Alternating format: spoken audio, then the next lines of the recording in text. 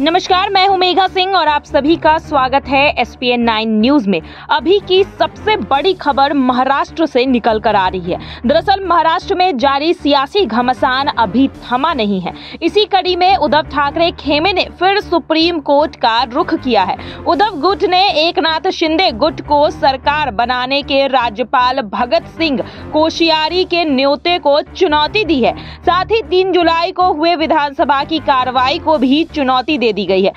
इसी दिन एक नए स्पीकर का चुनाव हुआ था और 4 जुलाई को फ्लोर टेस्ट हुआ था। आपको बता दें कि सुप्रीम कोर्ट में ठाकरे सरकार ने तर्क दिया है कि जिन 16 विधायकों के खिलाफ अयोग्यता की कार्रवाई पेंडिंग थी, ऐसे में वे विधानसभा की कार्रवाई में भाग नहीं ले सकते थे।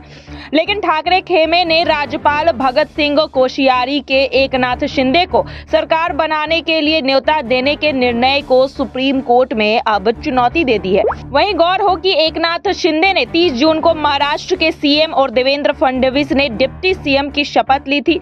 शिंदे की बगावत के बाद उद्धव ठाकरे को सीएम पद से इस्तीफा देना पड़ा था और अ, और महाविकास अघाड़ी सरकार गिर गई थी। इससे पहले उद्धव खेमे की याचिका पर बुधवार को सुनवाई हुई थी, तब ठाकरे गुट ने राज्यपाल के राजनीतिक होने का आरोप लगाया था। और अब देखने को मिल रहा है कि दूसरी तरफ़ उद्धव ठाकरे को लगातार झटके लग रहे हैं और यहाँ पर फिर से जिस तरह से सुप्रीम कोर्ट का दरवाज़ा खटखटाया गया है, इसके बाद क्या फैसला जो है उद्धव ठाकरे के हक में सुनाया जाएगा, इस पर सबकी नज़र है। आज के लिए बस इतना ही, आगे की खबरों के लिए देखते रहिए एस न्यूज़ धन्यवाद।